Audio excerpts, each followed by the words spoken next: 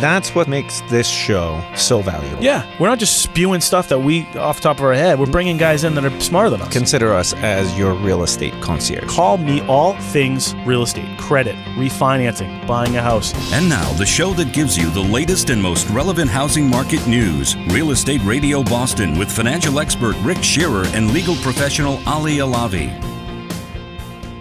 Do you think uh, that condominium associations in general are sort of overstepping their uh, boundaries by creating these massive restrictions uh, in the condominium documents? I'm going to give an example.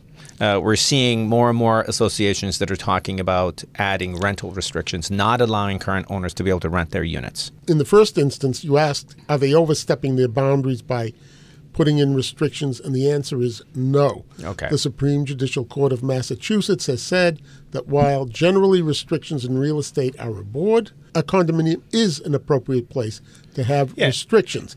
But with regard to the rentals, there comes a question of whether or not the rental restrictions are restricting sales. Mm-hmm. Well, you know, it's a really interesting issue, and you can argue both sides of the coin on this. Many times, unit owners will not want to buy into an association that has a rental restriction, not because they aren't planning on living there, because they are, but they're thinking of their future. What happens if I am transferred out of the state for a year and I want to rent my unit because I want to come back? Yep. What happens when I go to sell this? Am I limiting my market of available buyers? Mm-hmm. So unit owners can be reluctant to opt into that scheme or amend their documents. Well, you have people who want restrictions because there are a lot of problems sometimes with renters. Renters do not have the same um, attitude toward the property that an owner would. Sure. An owner wants to see the values kept up. Speaking as an association attorney, I think any association that fails to budget 10% of their um, income to reserves is foolish, whether or not it's a Fannie Mae issue. Yeah. You need that to Yep. be a well functioning association. But there are other competing interests, as I said, on the rental part.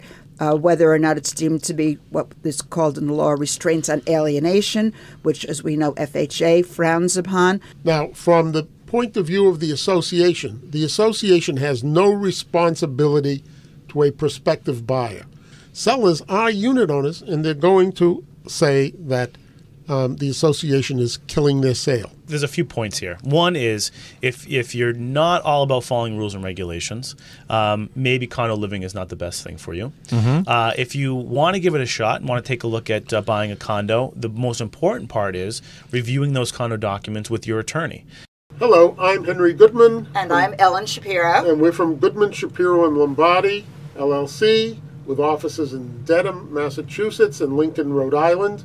Uh, and we're attorneys representing approximately 800 condominium associations.